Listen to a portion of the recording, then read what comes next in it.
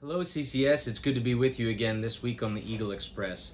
Boy, did we have a great time at Homecoming Friday night. I just want to first off say uh, about Homecoming that I am so sorry to those of you who were at the end of the line for the food truck. We had so many people here uh, on Friday that we ran out of food.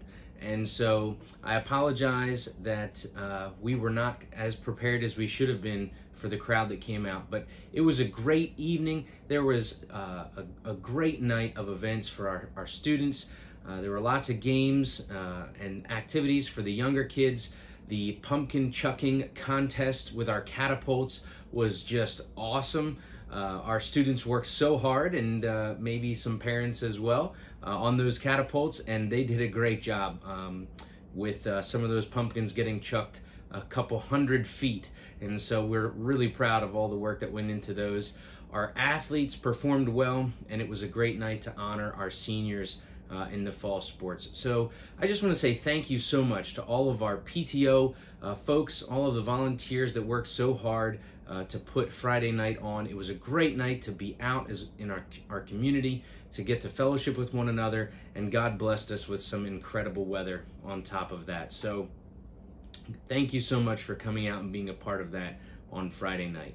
This week's video is short. There's just two other things I want to share with you. Uh, first of all, as we head into next week, um, we are going to be making a change. So on Monday, October 19th, we are going to change our operating hours uh, as we said back in the summertime, as the year progressed and things changed and we got settled in here, we were going to try to gradually, one step at a time, return back to normal.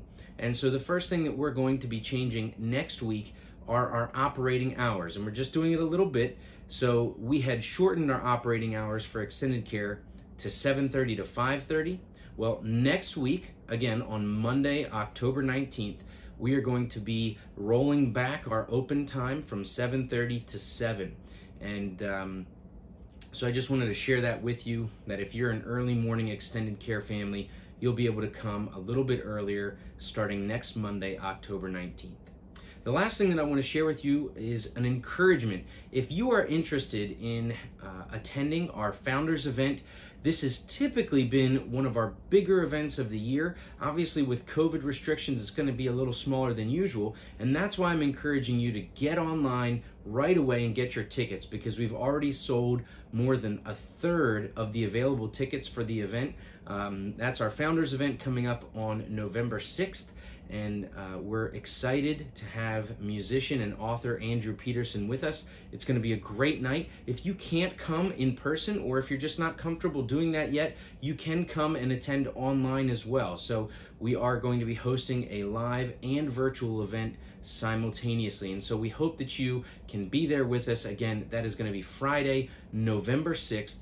Um, and the image and link are below. Click on that picture and it'll take you to our website where you can get all of the details about our founders event on Friday, November 6th. That's it this week. I look forward to seeing you all again soon and I hope that you have a great week.